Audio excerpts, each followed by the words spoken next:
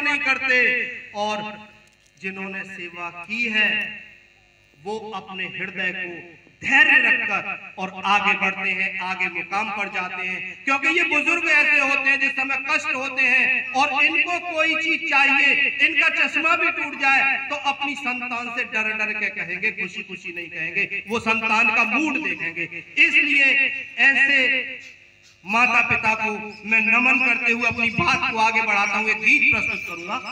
पिंजरे के पंछी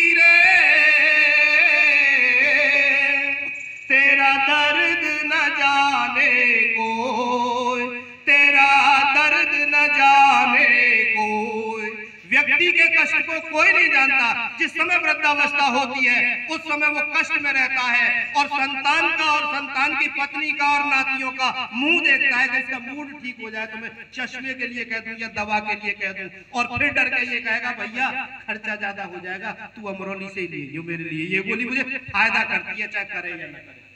बाहर से तू खामोश रहे तू, बाहर से तू खामोश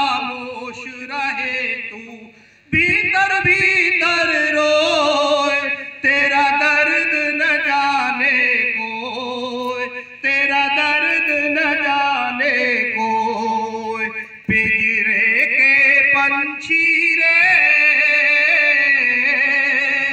तेरा दर्द न जाने कोई, तेरा दर्द न जाने कोई।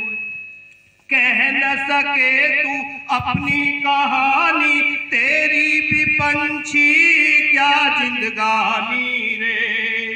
कह न सके तू अपनी कहानी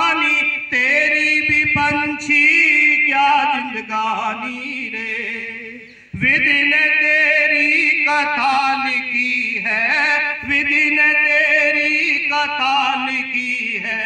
असवन कलम डुबोए, तेरा दर्द न जाने कोई तेरा दर्द न जाने कोई चुप के चुप के रोने वाले रखना छिपा के दिल के छाले चुप के चुप के रोने वाले रखना छिपा के दिल के छाले रे। ये पत्थर का देश है पगले ये पत्थर का देश है पगले कोई न तेरा होए, तेरा दर्द न जाने कोई, तेरा दर्द न जाने पंछी रे तेरा दर्द न जाने कोई तेरा दर्द न जाने कोई दोस्तों, बुज़ुर्गों के दर्द को कोई नहीं जानता, केवल बुज़ुर्ग ही जानता है। यदि हम संस्कारवान हैं, हम यज्ञ से जुड़े हुए हैं तो हम उनकी नीड्स को पहचाने और उनके कहने से पहले उनकी आवश्यकताओं को पूरा करें। ये हमारा धर्म है, यही हमारा नैतिक कर्म है। अनजाने में भी स्वप्न में भी उनसे कटु वचन न बोले। यदि ऐसा हमने किया तो मृत्यु के उपरांत ये घटनाएँ हमारी हमें रोने को विवश करेंगी। इसी के साथ मैं उस दिवंगत आत्मा को, दोनों की दंपति युग्म की जोड़ी को अपने श्रद्धा सुमन अर्पित करता हूँ। पूरे परिवार की तरफ़ से श्रद्धा सुमन अर्पित करता हूँ। अपने आर्य परिवार की ओर से श्रद्धा सुमन अर्पित करता हूँ। जितने भी लोग यहाँ उनसे प्रेम करने वाले हैं, उनकी ओर से उनको श्रद्धा सुमन अर्पित करता हूँ।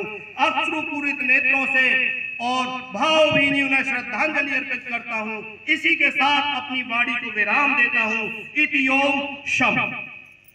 ओम जय शांति।